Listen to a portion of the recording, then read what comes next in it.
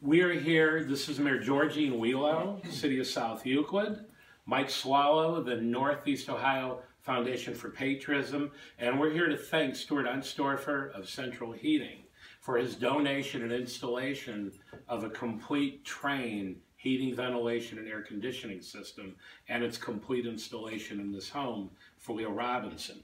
And Leo, if you could join us for a moment. Bring right over here. The thanks goes to Leo, not to me. Anyway, thank you for your service. Thank you. Well, it's so important, um, because without your hard work, not only was Leo, you know, um, able to move in here, to be able to have a nice, warm, cozy home, we also have our first Purple Heart home in which you worked so hard. And that, that, that just shows you, you know, you're not a one-timer. And, and I think that's why you partner so well. Perfect.